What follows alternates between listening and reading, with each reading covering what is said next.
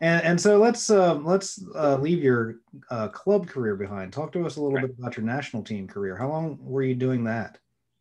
Yeah, basically, uh, I was with the national team um, summer of 07. Uh, that was the first FIBA Asia qualifiers for, I think that was the, what Olympic? I don't even remember what Olympics was that.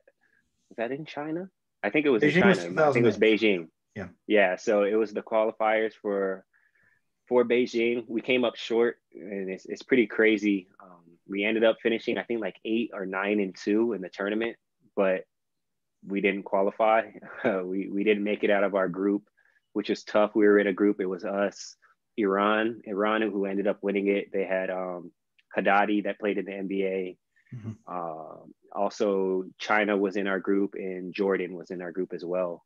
So it, it was tough, but you know, I was pretty consistent since 2008. I think I only missed a couple of opportunities. Uh, played in two World Cups, played in Spain, and played in in China in the last World Cup, where we didn't fare as well, uh, didn't perform where we wanted to. Um, but overall, it, it's it's an awesome opportunity to represent uh, my family, uh, both the the family I've started and the family that sacrificed so much, um, you know, to to give all of us a better life. So it, it's it's been a cool experience and something I definitely honor and, and cherish.